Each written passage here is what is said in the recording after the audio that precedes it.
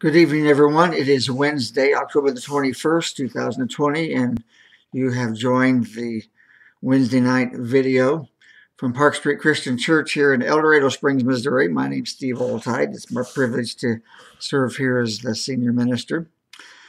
Let's pray as we start this evening. Heavenly Father, thank you for the day you've given us. Thank you for the abilities you've given us to, to read and to listen. And we um, want to use those senses that you created us with to um, draw near to you, to learn more about you. And I pray that what we're sharing tonight is helpful to that end, that uh, every one of us can stay, take a step closer to being the person you want us to be in Christ. Um, that we need all the help we can get. We want to be closer every day than the day before. And so I pray that this can assist in that, that journey. Thank you again for your word. I pray in Jesus, the living word. Amen. I'm going to share tonight a piece that was written by my friend Victor Knowles of Peace on Earth Ministries in Joplin, Missouri. Victor, um, a few years older than I am, but he's a fellow Iowegian originally. And um, he attended college in uh, Ottumwa, Iowa, in a school there years ago called Midwestern School of Evangelism. The people in my part of the world are mostly familiar with. But uh, Victor's got a dynamic ministry that he's led for years at uh, a unity movement of getting uh, Christians together to be um, in agreement on the truth of Scripture and to um, not be divided um, senselessly over silly things. And he's done a lot of good work in that, that area for a lot of years, giving his life to it, really. He's a prolific writer and, and written a number of books and very gifted with words. And I'm going to share something that was in his Knowles letter from back uh, earlier this month of October called Glorifying God in an Ungodly Culture. So uh, make sure you have a pad and pencil or pen so you can write down some scripture references. You have the advantage you can pause the video and and uh, or go back and re-listen to parts of it to catch things that you miss. I try to repeat the references so that you can get those down. Um, but in case you don't get them, you can still go back and replay the video or the portion you missed or need to catch up on. But again, this is titled Glorifying God in an Ungodly Culture. To glorify someone, he writes, means to bestow honor, praise, and admiration on them. In our present culture, people tend to glorify celebrities, athletes, or even politicians. Yet many of them are unworthy of such honor because of their ungodly lives. In ancient Rome, the people exchanged the glory of God for images made to look like mortal men and even animals, according to the Apostle Paul in Romans chapter 1, verse 22. That's Romans 1, verse 22. They also exchanged the truth of God for a lie, and they worship created things rather than the Creator in Romans 1.25. Romans 1.25. Corinth was another wicked city filled with sexual immorality. The Apostle Paul found it necessary to remind the Christians in that city uh, you are not your own, for you are bought with a price, so glorify God in your body. And of course, that's from 1 Corinthians 6, verse 20. 1 Corinthians 6, verse 20. Some translations add, and in your spirit. Glorify God in your body and your spirit. But that's again 1 Corinthians 6, 20. A sinful and ungodly culture refuses to glorify God. C.S. Lewis wrote, A man can no more diminish God's glory by refusing to worship him than a lunatic can put out the sun by scribbling the word darkness on the walls of his cell. It is left to the people of God to bring God glory in times like these, even when it looks like uh, complete lunacy is on the loose.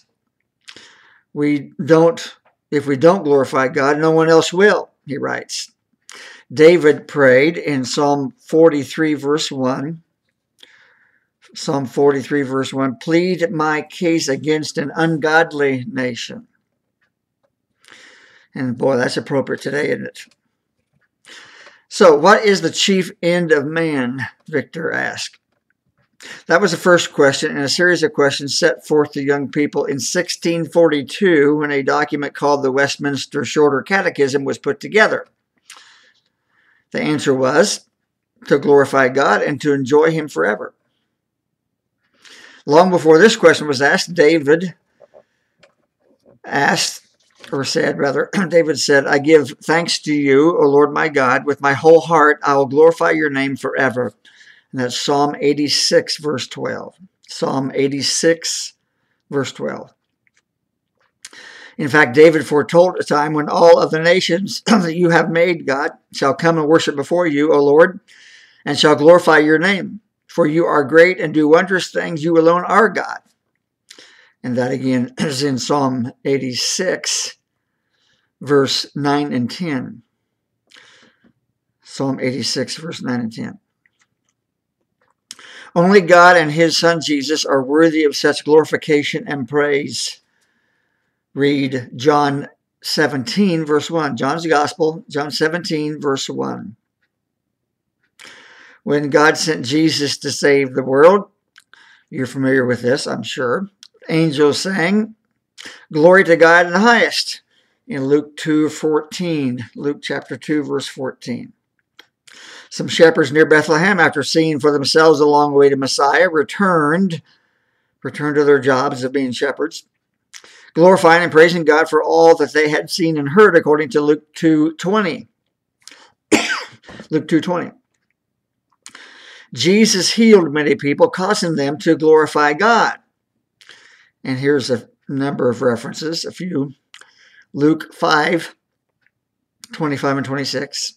That's Luke 5, 25 and 26. Luke 7, verse 16. Luke 7, 16. Luke 13, 13. That's Luke 13, 13. Luke 18, 43. Luke 18, verse 43. The one exception, he continues, was when Jesus healed ten lepers, but only one of them returned to glorify God with a loud voice, according to Luke 17, 15. Luke 17, verse 15. And Victor asked a question, or makes a statement. I wonder if that same percentage holds true today.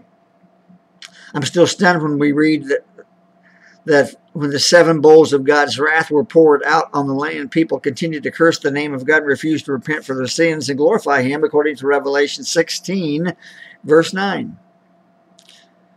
Revelation 16, 9. This shows how stiff necked and bullheaded sinful man really is. However, he says, our good behavior can actually cause some to glorify, uh, give glory to, to God. Jesus said in Matthew 5:16, Matthew 5:16, let your light shine before men that they may see your good deeds and glorify your Father in heaven. So people are watching and listening to see how we react in, to the times in which we live. Peter said, live such good lives among the pagans, among unbelievers, that though they accuse you of doing wrong, they may see your good deeds and glorify God on the day he visits us. And that is in 1 Peter 2, verse 12. 1 Peter 2, verse 12. Peter also said, Yet if anyone suffers as a Christian, let him not be ashamed, but let him glorify God in that name. And that's in 1 Peter 4, 16. 1 Peter 4, verse 16. And Victor says, These are words to remember in times like these. And then his last paragraph in this piece reads From Rome to wherever you call home, may the God who gives endurance and encouragement give you the same attitude of mind towards each other that Christ Jesus had, so that with one mind and one voice you may glorify the God and Father of our Lord Jesus Christ. And that's Romans 14, verse 5 and 6. Romans chapter 14, verse 5 and 6. And to that I say, Amen and Amen. Let's pray. Father, we too want to join with multitudes of others around the world to join with one, ver- one voice uh, to glorify you, to honor you, to praise you. And we want to serve you uh, all the rest of our days, however many days they those may be. We don't know what is coming our way in the future, or um, we have lots of questions about those kinds of things. But one thing we can go to bed tonight confident of is you are already there. You have everything figured out. You're going to supply what we need every step, every day. And um, you're never caught off guard by anything that takes place here. Sometimes we lose perspective and we we need to have the right balance of of concern and and being prayerful about those concerns and yet trusting you that you are ultimately in charge um, even if it looks like everything's out of control. We have complete confidence. You're a complete god of integrity perfect integrity complete faithfulness to your purposes and we just trust you to work everything out in your time so help us to be committed to glorifying you in this very ungodly culture. And I pray this in Jesus' name. Amen. You have a blessed night and a good rest of your week.